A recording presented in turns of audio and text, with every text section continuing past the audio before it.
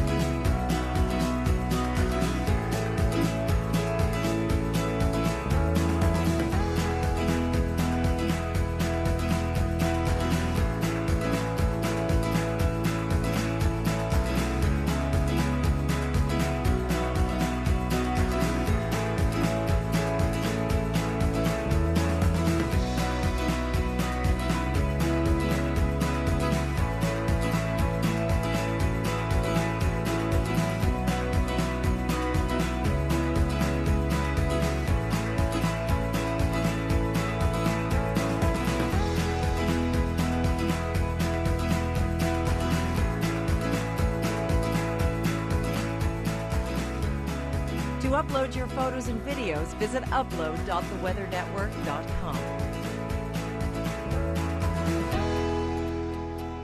This local forecast has been brought to you by Visit Myrtle Beach. You belong at America's beachiest beach.